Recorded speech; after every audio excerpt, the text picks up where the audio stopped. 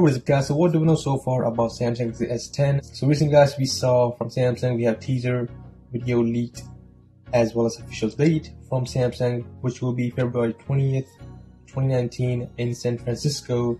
So I'm really excited guys, we exactly have one month from now on to see this brand new device from Samsung.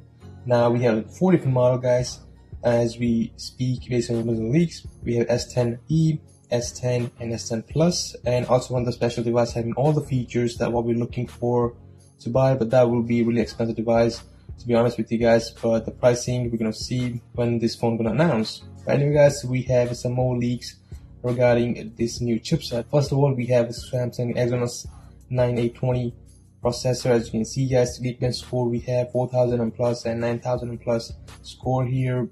So that will be really awesome to see into the S10 lineup and running Android 9 Pie. So that's will be latest version coming with this phone. Anyway, we also have Qualcomm Snapdragon 855 processor as well. It's a bit faster compared to this Exynos version. So as you can see, we have single core as well as multi-core in this both the chipsets. So you can see the comparison here.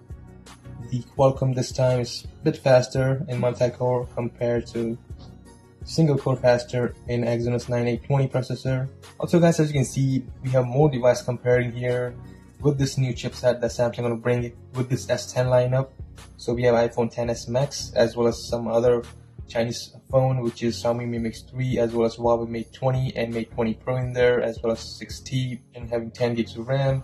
Now the processor is 2018 but still guys the comparison here is mind blowing. The Samsung bringing really awesome chipset, which will be Qualcomm Snapdragon 855 as well as Exynos 9820. So really awesome to see you guys on this phone available in the market to compare with these devices.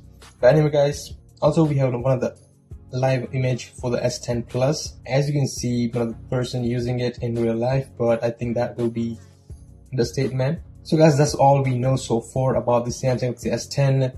So let me know guys what you're thinking. Leave your thoughts in comment below. I'll catch you in next video. Peace out.